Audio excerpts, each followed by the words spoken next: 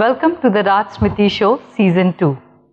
Today we have with us a dynamic leader. He is an author and an IS officer, popularly known as Dynamic DM. He's also written a book called Dynamic DM. So welcome to our show, sir. It's a pleasure having you.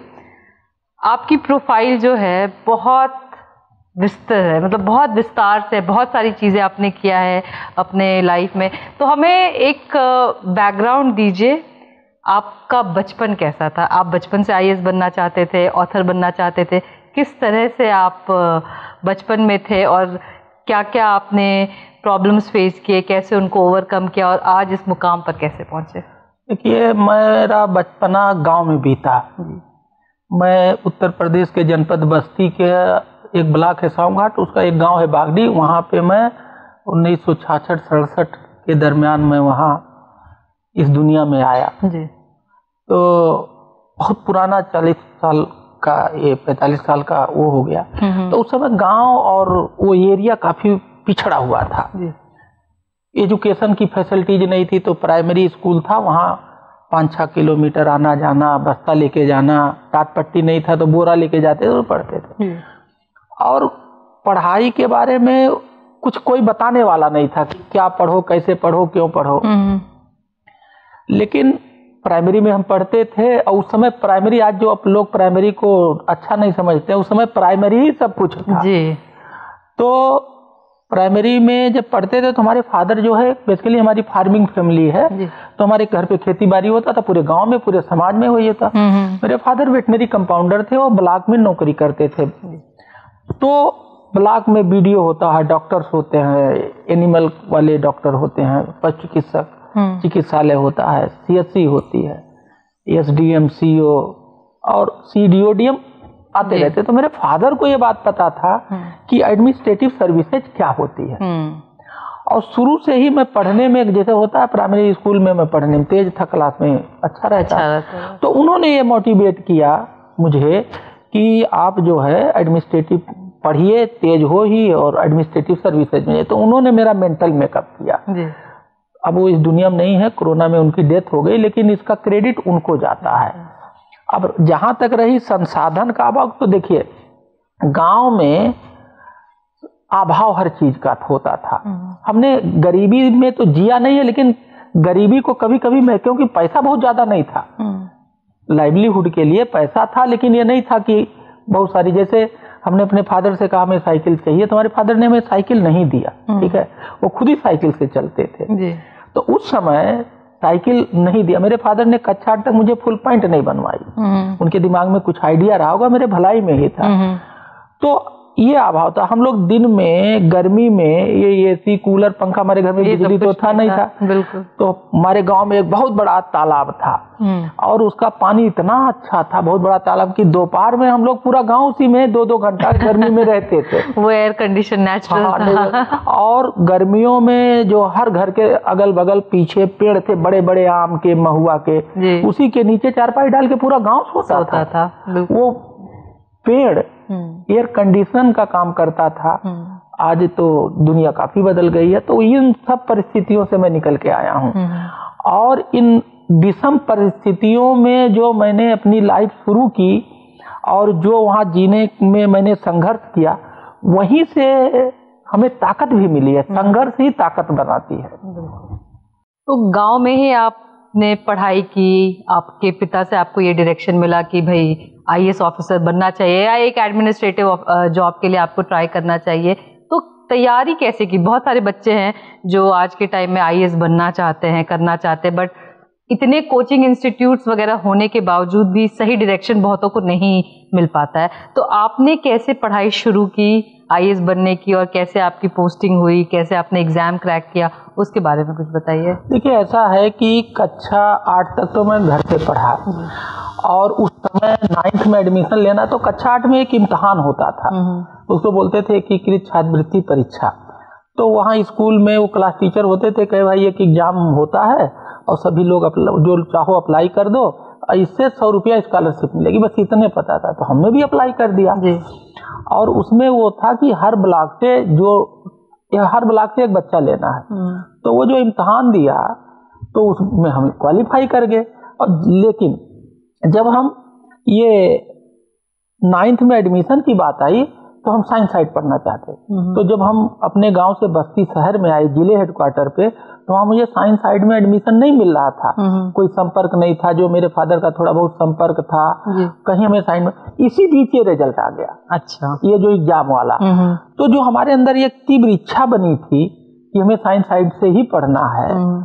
वो ऊपर वाला कहते हैं there is will there is way तो उसी बीच में result आया और इस रिज़ल्ट के आने पर हम तो जानते थे केवल स्कॉलरशिप मिलेगा लेकिन इसमें स्कॉलरशिप सौ रुपया मिलता था और आपको साइंस साइड में एडमिशन मिल गया जीआईटी Wow. बस्ती में और हॉस्टल मिल गया। तो अगर हम गाँव से निकल के आए थे तो मैं कहाँ रह के पढ़ता? सही बात। तो मेरी जो वो एक ये स्कॉलरशिप वाला जो इम्तहान था हम्म। उसने मेरी रहने की व्यवस्था कर दी हॉस्टल में। हम्म। तो मुझे एक हॉस्टल का माहौल मिला। एडमिशन जिसके लिए मेरे पिताजी एक महीने से टाप रहे थे वहाँ परेशान थे नहीं हो रहा था वो हो गया। और सौ रुपया उस समय बहुत होता था। सही बात है। उस समय सौ रुपया से मेरा पूरा खर्चा हो गया। बिल्कुल। तो मैं महीने का खर्च मुझे लगता है निकाल देते हाँ पूरा मतलब मोटा मोटा हो जाता था। जी। थोड़ा बहुत कम पड़ता था तो हाँ। दे देते थे। अब हमने नाइन्थ से लेके बारह तक यहाँ पढ़ाई करी और फिर यहीं से हम लोगों ने ये सोचा कि इंजीनियरिंग किया जाए।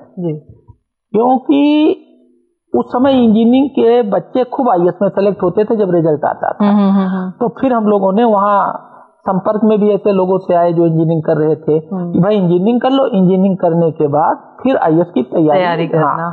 तो फिर हम जो है इंजीनियरिंग करने चले गए वहीं हम्म। से तैयारी किए और फिर तैयारी करने के बाद इंजीनियरिंग में एडमिशन लिया तो जब इंजीनियरिंग में एडमिशन लिया तो अब हमारा वो भी सपना पूरा होगा हम्म। फिर उसी इंजीनियरिंग के दौरान क्योंकि आई या सिविल सर्विसेज़ का बीज तो शुरू से ही मेरे दिमाग में था और मैं उसके लिए मोटिवेटेड भी था इंस्पायर्ड भी था हम्म, क्योंकि इस दौरान जब कोई न्यूज़ आती थी डीएम की एसडीएम की किसी अधिकारी की इस तरह की तो उनके प्रति एक अलग भावना वो हमारे लिए एक सपना था। सही बात है। तो कभी कोई पीसीएस अफसर मिल गया या कहीं कोई देखने को मिल गया कहीं डीएम बाढ़ में दौरा कर रहे फ़ोटो छप गया न्यूज़ में तो वो सब बड़ा एक अपने अमेजिंग और लगता ग्लैमरस लगता प्राइड वाली भी बात थी। होती थी। हम्म, कि अगर हम भी होंगे तो वो एक छाप बन गया था। तो जब हम गए और बीटेक कर रहे थे तो हम सैटरडे संडे को पढ़ाई शुरू किए किसकी इसकी तैयारी। अब तैयारी कैसे हमें तो कुछ बताने वाला नहीं। हम्म, हम्म, तो हमने कैसे किया कि जब हर साल आईएएस का वो होता था रिज़ल्ट आता था तो पाँच छह दिन टापर लोग बताते थे। उस समय सोशल मीडिया नहीं था नहीं था तो वो दैनिक जागरण अमर उजाला या इस तरह पेपर वाले छापते थे क्या पढ़ो? तो सब लोग कहते थे एनसी हाँ। एनसीआरटी किताब पढ़ो। हम्म, प्रतियोगिता दर्पण ऐसे हाँ, हाँ, उस समय ऐसे पाँच छह मैगजीन आती थी। जी। तो वो जो लोग बताते थे हम्म, वही चीज़ हमने सैटरडे संडे को छुट्टी के दिन पढ़ना शुरू पढ़ना किया। शुरू किया। तो अब क्या हुआ? हमारा धीरे धीरे इंजीनियरिंग तो हम कर ही रहे थे हमारा सिविल सर्विसेज़ का बेस बनने लगा। क्या? उसकी हम्म, तैयारी शुरू हो गई थी।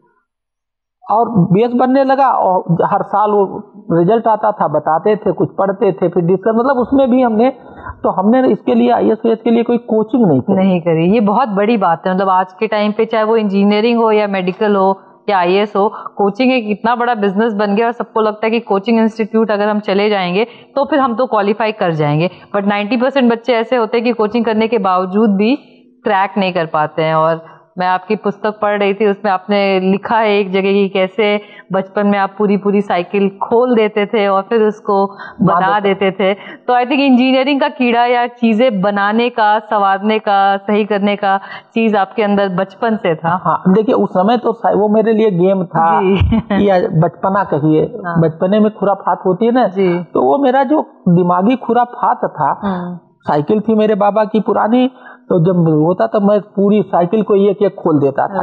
लेकिन अब साइकिल को जोड़ के बनाना है हम्म, तो मुझे ये उस समय मुझे अब याद करता हूँ ये तो है अरे अगर ये कहीं भूल गया वो नट नहीं जुड़ा तो साइकिल नहीं जुड़ेगी तो डांट खाएँगे। हम्म, लेकिन एक करते इसका मतलब अब वो देखते हैं कि उससे मेरे वो, वो एक लॉजिक याद कैसे सीक्वेंस होता है कैसे कोई काम बिगाड़ो और कैसे फिर बनाओ। हम्म, तो वो चीज़ इंजीनियरिंग वो जो होता था वो कहीं न कहीं एक मेरा कहते हैं इंटर्नशिप था। जी। लर्निंग थी खेल में। हम्म, हम्म, हम्म, जो कि अब हम लोग नहीं करते हैं। सही बात है नहीं करते। आज के बच्चे का अगर कोई कुछ ऐसा करे तो गार्जियन पहली बात तो करने नहीं देगा।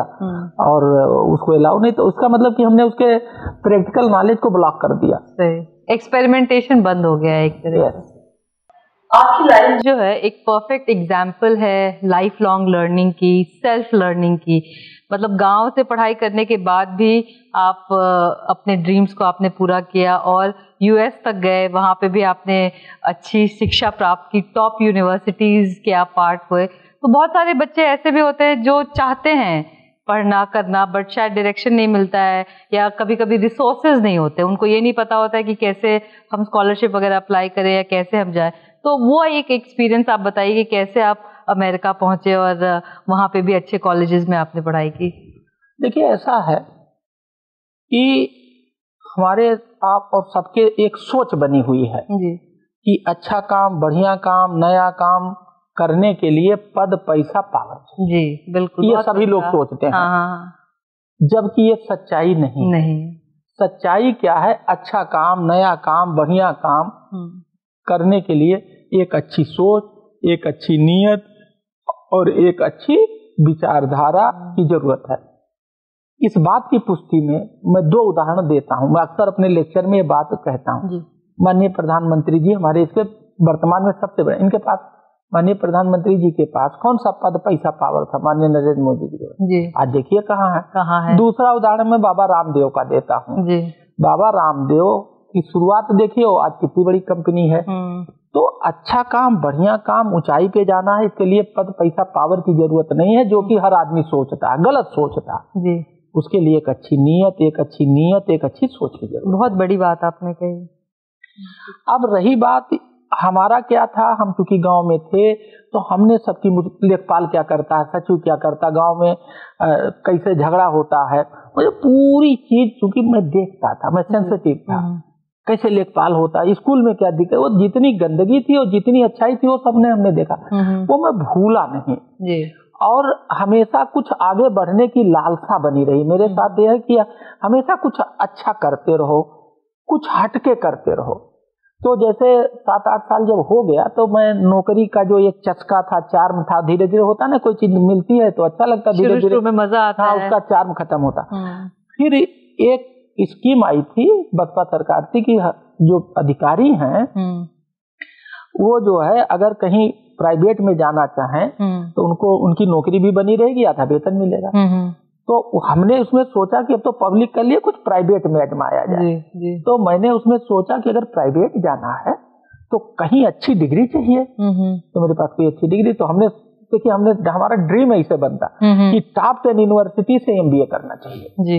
अब जब उसमें लगे कि एमबीए करना चाहिए हम्म। तो उसके लिए जीमेट चाहिए। हमारी इंग्लिश हम्म। कमज़ोर जीमेट का इम्तहान दिए स्कोर अच्छा नहीं आया। हम्म। और ये जो एमबीए करने का सपना था ये फिर हाँ मतलब एक सोच आई बीज तो पड़ गया लेकिन वो हाँ, पूरा नहीं मतलब यूके और यूएस जाने के लिए तो जब तक आप आई और जीमेट जीआरई वगैरह नहीं क्लियर करते हैं हाँ, तो फिर, फिर इसी बीच मेरे एक सीनियर हैं जो कि योगेश्वर राम मिश्रा साहब हैं इस समय बस्ती में कमिश्नर हैं।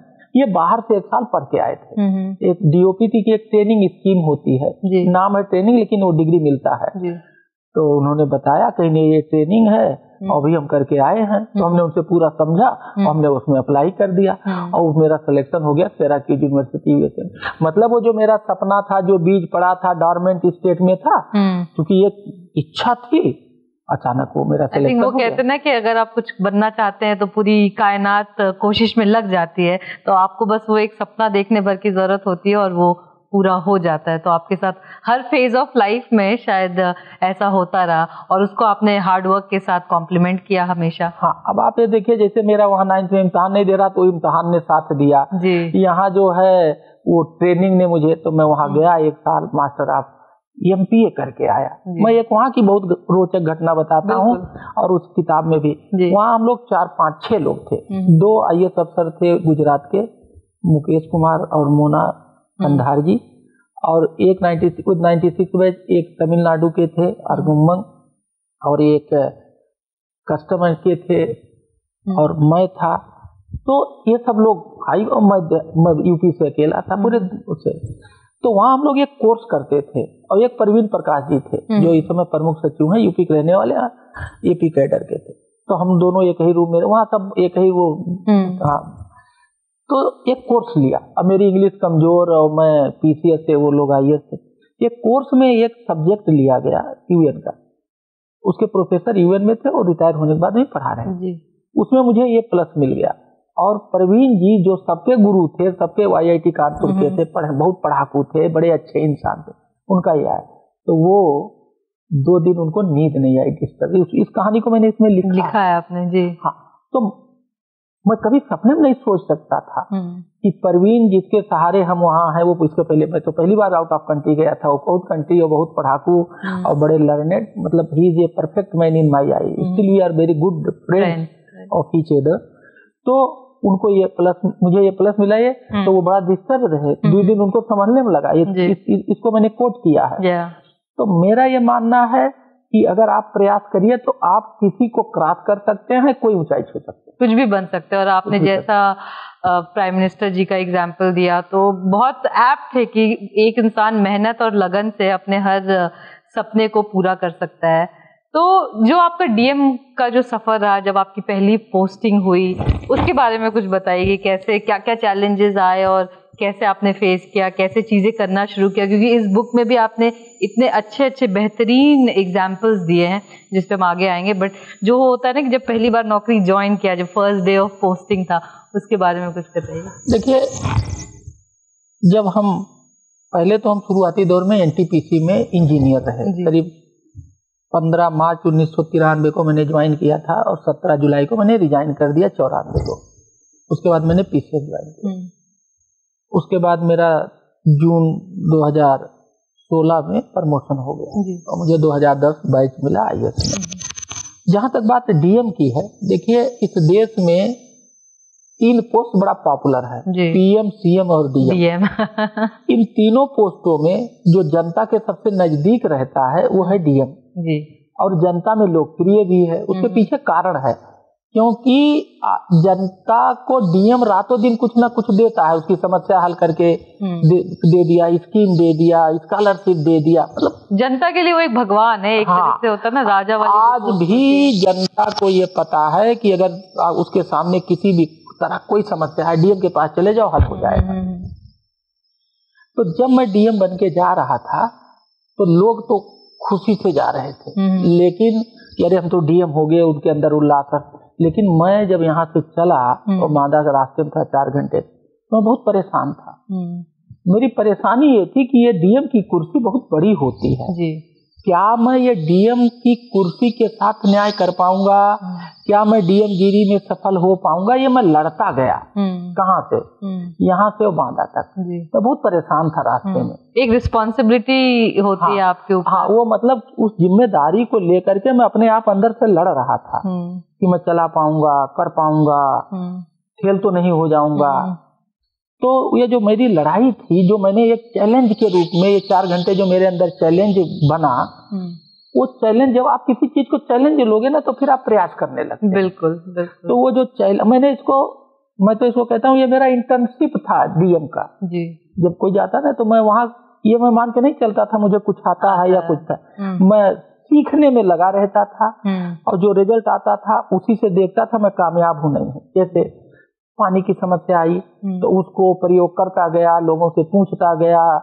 दूसरी बात है मुझे कहीं कोई अच्छी बात किसी से मिल जाए तो मुझे ये शर्म नहीं है कि वो किस स्तर का गाँव का कोई अच्छा आदमी बताएगा तो मैं उसको लेकर के लागू कर दूँगा और मैं कहूँगा बताल्ला भी करता हूँ देखो इसने बताया मेरा नहीं है। हम्म, हमारे यहाँ लोग क्या करते हैं दूसरे का आइडिया लेंगे दूसरे काम लेंगे और चोरी करके अपना अपना। नाम लगा ले। आप इस किताब में देखिएगा हर चैप्टर में मुझे जिसने जो भी सुझाव दिया है उन सबका मुझे नाम है। For example Times of India की सैलवी शारदा पत्रकार है यही लखनऊ में। जब मैं जा रहा था तो उसने कहा भैया आप कलेक्टर हो गए हैं बांदा में माइल न्यूट्रिशन की बहुत बड़ी समस्या है हम्म, और ये किसी को नहीं पता। और मैंने एक न्यूज़ लिखा था हम्म। यूनिसेफ ने एक प्रयोग किया था। हमने कहा मुझे वो न्यूज़ भेजो। उसने मुझे न्यूज़ भेजा और फिर मैं वहाँ जा करके पता किया तो उसकी बात हंड्रेड परसेंट सही। थी। तो फिर मैंने उस प्रयोग जो हुआ था उसका अध्ययन किया और एक प्रोग्राम बना करके एक ब्लॉक से पूरे ब्लॉक में लागू किया। हम्म, और जो हमने ये चैप्टर लिखा है हम्म, मैंने यही कहानी से शुरू किया है। मैंने शारदा के ही नाम से वो चैप्टर शुरू किया। तो ऐसे मैं जनता से सीखता था। जो मेरा नॉलेज था वो था हमारे विभागीय नॉलेज मैं जनता के नॉलेज को जनता के ताकत को और जनता के लीडरशिप को हम्म। आगे रखता था अपने को पीछे रखता था। हम्म। तो मैंने ऐसे पब्लिक पार्टिसिपेशन जन सहभागिता से काम किया। यही मेरे सफलता का राज है। और अब जनता को जोड़ने के लिए आपको देहाती बनना पड़ेगा जनता के लेवल में जाना पड़ेगा। अगर आप अपने को बड़ा इगोइस्ट की हम बहुत बड़े अधिकारी हैं और हमें बहुत आता है और आप दूसरे का नॉलेज चोरी करके अपना बताएँगे तो जनता से नहीं नहीं, जुड़ेगी आपको उन्हीं की भाषा बोलनी पड़ेगी उन्हीं के जैसा वो दिखते हैं उनके हिसाब से आपको होगा। अदरवाइज़ नहीं वो रिलेट नहीं कर पाएँगे अपनी चीज़ें बता नहीं पाएँगे खुल के। एंड आई थिंक कहीं ना कहीं आपने वो चीज़ हाँ। बैलेंस करके रखी। तो हम क्या करते थे? हम तीन चीज़ का बहुत प्रयोग करते थे। भाषा हम्म। वेशभूषा और भोजन। जी बिल्कुल। भाषा वेशभूषा और भोजन। भोजन, स्थानीय भाषा हम्म। भाषा में कल्चरल एक्टिविटी उनकी लैंग्वेज वेशभूषा में जैसे देहाती जिला था हम्म। तो मैं टाई वही बांधता था तो चद्दर ले, लपेट लेता था मफलर और मैं कहता था मैं किसान का बेटा हूँ। मैं आपके बीच का ही हूँ। मुझे अपन वो वाला पूरा अलग हाँ हाँ अलग मत समझ तो उनको लगता था अरे ये तो अपने घर का कलेक्टर है। तो मेरी बात को सुनते थे मेरी बात मानते थे। हम्म। और भोजन अब हम जा रहे हैं गाँव में वहाँ कहीं लाओ पापड़ लाओ या पिज्जा लाओ तो वो फिर हमारा कनेक्ट नहीं बन पाता। तो भाषा भोजन और वेशभूषा इन स्थानीय स्तर के इन तीनों चीज़ों का मैंने भरपूर प्रयोग किया। हम्म और उससे हमारे और जनता के बीच जो गैप होता है वो बिल्कुल ज़ीरो हो गया। ज़ीरो हो गया। मैं देखिए अधिकारी सोचते हैं कि उनका काम मतलब हम लोगों को ये गलत फहमी है कि हम जो है एडमिनिस्ट्रेशन पावर ऑफ़ पनिशमेंट से करेंगे। हम्म। लेकिन पावर ऑफ़ पनिशमेंट से काम नहीं होता है। जी। काम होता है पावर ऑफ़ प्यार से। हम्म। तो मैं जो है हमेशा पावर ऑफ़ प्यार का पुजारी हूँ। हम्म। मैं लोगों को प्यार से जोड़ता हूँ और उनसे प्यार से जोड़ने के बाद उनका कंट्रोल मेरे हाथ में आ जाता है। और मेरी बात मानते हैं। नाइन्टी परसेंट लोग हम तुम्हें तो काज नोटिस दे देंगे तुम्हें एडवर्सिटी देंगे धमकाते हैं। पनिशमेंट पे बिलीव करते हाँ। हैं पावर ऑफ़ पनिश तो वो फिर दूरी बढ़ जाती है। जी। हमारा रिवर्स है हम पावर ऑफ़ पनिशमेंट को यूज़ नहीं करते हम उसकी जगह पावर ऑफ़ प्यार यूज़ करते हैं तो जनता हमसे जुड़ती है और हम उसमें जनता में मिक्स हो जाते हैं। हम वाटर की तरह जैसे पानी को कहीं डाल दो मिक्स हो जाता है। जिस तो- शेप में डालो शेप हाँ तो मेरा वो वाटर वाली स्टाइल है। है। हम्म, जैसा देश वैसा, वैसा भेष और मेरा कोई ईगो वो नहीं है। मैं तो अपने को देसी डीएम बोलता था कि मैं तो भाई देसी डीएम जैसा आपने बताया कि आपने पावर ऑफ़ लव का इस्तेमाल किया और जब आप जा रहे थे जॉब में तो एक अंदर ये था कि कैसे मैं करूँगा आपको। ये एहसास था कि आपके ऊपर बहुत बड़ी रिस्पॉन्सिबिलिटी आ रही है और शायद बहुत सारे लोगों में ये चीज़ नहीं होता है। वो ईगो में आ जाते हैं कि अब तो मैं हूँ, मेरे आगे कोई भी नहीं है। तो आपने उस रिस्पॉन्सिबिलिटी को जो रियलाइज़ किया कि नहीं, आपको चुना गया है इस विशेष काम के लिए और आपको अपना बेस्ट देना है, बांदा में चीज़ें डेवलप करनी है। तो जैसा मैं ये पुस्तक भी पढ़ रही थी, इसमें बहुत सारी चीज़ें आपने की, पानी की समस्या को आपने रिजॉल्व किया स्टार्टअप्स वगैरह के लिए काम किया, लोकसभा चुनाव जो था उस समय वोटर लोगों को जागरूक कराने का काम किया। कुपोषण के बारे में आपने बताया है कि कैसे हुआ, जेल सुधार, पेड़ जिया अभियान, योग रखे निरोग छात्र विकास के कार्यक्रम हुआ, महिला विकास हुआ। तो एक एक प्रोजेक्ट आपने उठाया एंड आई थिंक हर एस्पेक्ट को आपने डेवलप करने को सोचा। आपने ये नहीं कि किसान को छोड़ दिया, आपने किसानों के लिए भी किया, महिलाओं के लिए भी किया, छात्रों के लिए भी किया। सब एस्पेक्ट को टच किया और साथ ही साथ आपने एक मॉडल गाँव के भी बारे में सोचा और उसको कैसे डेवलप करते हैं, उसके बारे में किया। तो इसके बारे में एक हमें डिटेल बताइए कि कैसे आप प्लानिंग करते थे और कैसे चीज़ें इम्प्लीमेंट करते जाते थे। देखिए ऐसा है कि हमारे पास तीन ट्रिक्स और टेक्निक्स है। हम्म अगर हम कोई काम हमने कहा भाई पानी बचाने का अभियान चलाना चाहते हैं मुझे पाँच करोड़ रुपया दे दो तो कोई नहीं देगा। जी। तो हमारा ये है कि भैया ज़िले में जो कुछ है उसी से आपको कुछ करना है। हम्म, तो हमारा पहला टेक्निक है कि involving stakeholders all stakeholders hmm तो अगर हम कोई काम करते थे जैसे हम गाँव में बैठक करने गए पानी पे हम्म तो ये नहीं है कि हमारे लोग गए और सबको उसमें सब इन्वॉल्व हो प्रधान भी इन्वॉल्व हो उस गाँव की जनता इन्वॉल्व हो उस एरिया का अधिकारी कर्मचारी भी इन्वॉल्व हो उस एरिया का जो वाटर का एक्सपर्ट हो। टीम वर्क जो होता हाँ है। तो हमारा पहला ट्रिक है involve all the Everyone. Everyone related to that work or that project or that program Beautiful. Involving all the stakeholder तो उससे जन सहभागिता बढ़ी सबकी ऊर्जा आई सबका दिमाग। दूसरा पैसा संसाधन अभाव है तो हम वो काम करते हैं आइदर इन्वॉल्विंग नो कास्ट और लो कास्ट मेरा दूसरा टेक्निक है involving no cost low cost कैसे? मुझे पानी पे लोगों से बात करनी है उस पर गोष्ठी करनी है। तो मैं गाँव में जाता था कहता था गाँव में जो सबसे बड़ा तालाब हो जो उसके तालाब के चारों तरफ़ जो सबसे बड़ा पेड़ हो उसके नीचे दरी बिछाओ। और हम लोग ज़मीन पे बैठ के बात करेंगे। हम्म, और कुल्हड़ में या घड़े का पानी पिएँगे और देसी गुड़ खाएँगे। हम्म, तो टेंट लगाने का पैसा बच गया फूल माला का पैसा बच गया माइक का पैसा बच गया और गाँव वाले दरी गाँव में दरी होता है दरी बिछा दिए तो वो जो ताम झाम नाटक और ये सबसे हम दूर कर तो ये क्या हुआ? लो कास्ट या नो कास्ट? तो हमें पैसे की ज़रूरत ही नहीं है। हम्म, हम्म, तो हमारी दूसरी टेक्निक है कि हम वो कोई काम करते हैं तो उसमें जो काम करते हैं एक्शन करते हैं वो लो कास्ट वाला होगा या नो कास्ट वाला होगा। ये दूसरा टेक्निक हम्म, तीसरा क्या है? कि हम convergence of resources fund inputs करते हैं। हम्म, जैसे मान लीजिए हमने वहाँ पे कालिंजर महोत्सव में एक अरहर सम्मेलन किया। हम्म, अरहर के खेत में अरहर सम्मेलन। हम्म, और हमने वहाँ पाँच पद्म श्री बुलाए बहुत बड़े बड़े साइंटिस्ट बुलाए तीस बत्तीस जिलों के जो नामवर किसान थे उनको बुलाए बहुत बड़ा फ़ंक्शन किया। हम्म, अब उसमें हमने जिस जैसे कृषि विभाग के चार डिपार्टमेंट थे वो थे मेडिकल था और एग्रीकल्चर था हार्टिकल्चर तो हमने किसी से कह दिया तुम गाड़ी की व्यवस्था करो। किसी से कह दिया तुम टेंट की व्यवस्था किसी से कह दिया तुम चाय पानी हम्म, तो हमने क्या किया? सबका काम बांट दिया। मैनेजमेंट जो होता है हाँ, वो कन्वर्जेंस से कर दिया। बिल्कुल। तो सब लोग इन्वॉल्व भी हुए हम्म, क्योंकि जब आदमी लगता कि अच्छा हमारा किसी गाड़ी और उससे छोटा छोटा जो विभागों में पैसा था उससे अगर हम किसी से कहें पच्चीस लाख रुपया इसमें खर्च आएगा तो नहीं होता लेकिन दो दो लाख रुपया हर विभाग ने खर्च कर दिया तीन हाँ। तीन लाख। एक सेंस ऑफ़ रिस्पॉन्सिबिलिटी भी आ हाँ। जाती है। तो देखिए ये मेरा तीन ट्रिक्स है। Convergence of fund inputs idea hmm, involving all stakeholders ये नंबर दो है। हम्म, नंबर तीन है नो कास्ट लो कास्ट यही हमारा मंत्र है। हम्म। और इससे जन सहभागिता बढ़ती है और लोग अपना उस प्रोग्राम को ओन करते हैं अपना मानते हैं। और जब सारा लोग अपना मानेगा हम्म, तो वो सफल होता है।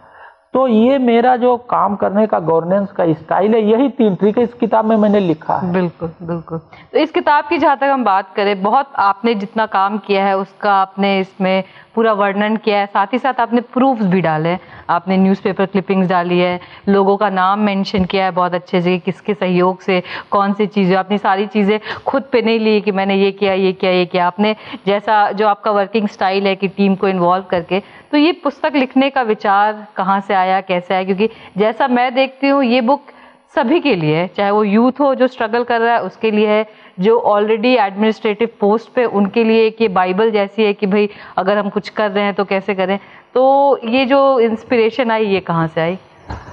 देखिए ये किताब है गवर्नेंस की। हम्म कि गवर्नेंस को गुड गवर्नेंस में कैसे बदला जाए उसके ये किताब इस बात को बताती है। जी। और ये थियोरी नहीं बताती है प्रैक्टिकल बताती है कि गवर्नेंस को गुड गवर्नेंस में कैसे बदला जाए। हम्म, गवर्नेंस होता कहाँ कहाँ है? भारत सरकार गवर्नेंस करती है स्टेट गवर्नमेंट गवर्नेंस है। करती है। लोकल बॉडीज जो अर्बन और रूरल है वो गवर्नेंस करते हैं। गवर्नेंस की जो सबसे छोटी इकाई है वो परिवार है। जी।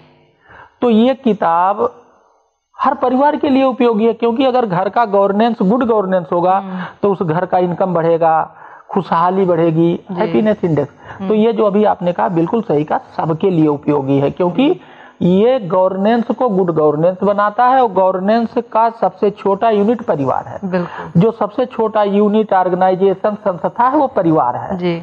वो इनफॉर्मल है। फॉर्मल नहीं होता वो इनफॉर्मल है। है। लेकिन वो इनफॉर्मल संस्था बड़ी मज़बूत है परिवार। हम्म, ये किताब लिखने की बात यूँ आई कि जब वहाँ हम काम कर रहे थे हम्म, तो जब कोई अच्छा काम करो तो कहीं ना कहीं से वो फैलता है। बिल्कुल। और सबसे ज़्यादा अट्रैक्शन जो इस सबसे ज़्यादा ये अट्रैक्ट करता है मीडिया वालों को क्योंकि मीडिया वाले कहते हैं हमें कुछ ऐसा काम चाहिए जो हटके हो थोड़ा नया हो गीता पिटा यूनिक हो हाँ। तो मीडिया वाले बहुत आते थे। माधा वैसे भी परेशान जिला है पानी के चक्कर में और बाकी हाँ, है। तो वहाँ न्यूज़ वाले आते थे जब ये मेरा काम हम सुनते थे हम्म। तो वो मुझसे कहते थे साहब इसमें ये बता दीजिए वो बता दीजिए। कहते तो हम कितने लोग बताते जी। तो हमने इसमें एक इनोवेटिव बांदा नाम की किताब छापी बुकलेट बनाई। जी। तो उसमें उसका पहले कुछ फोटोग्राफ दे दिया उसका पूरा डिटेल दे दिया वो किताब जो आता था दे देते थे। तो जब हम लोहा लोगों ने कहा साहब कि जब आप हट जाओगे तो बुकलेट खत्म हो जाएगी। और हटने के दो साल बाद आपको भी नहीं याद रहेगा कि आपने क्या किया कैसे किया क्यों किया उसका आउटकम क्या रहा? हम्म।